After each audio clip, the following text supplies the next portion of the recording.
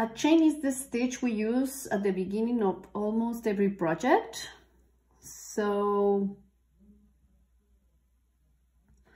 you definitely needed uh, to, to know how to crochet. So when you take a class or whatever, generally they start you with uh, the chain. So first you do a loop, yarn over, see, the other one, plop, you turn it over, grab your hook,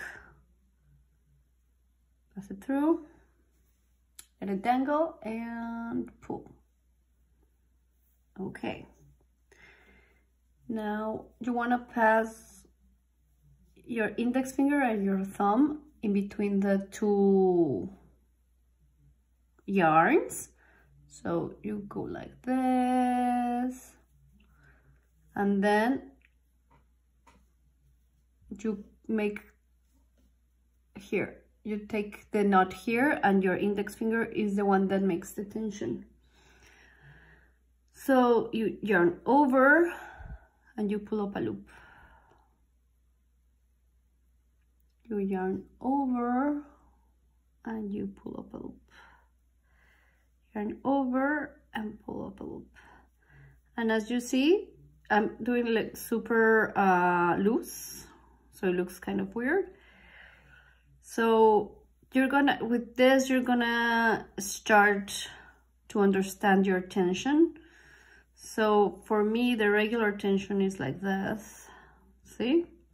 You can see the braid. And in the other side you can see a line this is important to notice in the future when you start your projects.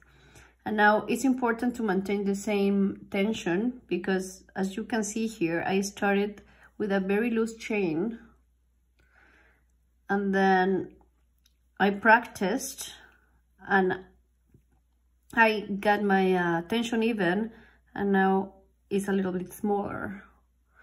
So either this or if you're still like doing your tension correctly, etc. And you're still getting um, chains like this, just go uh, a size smaller.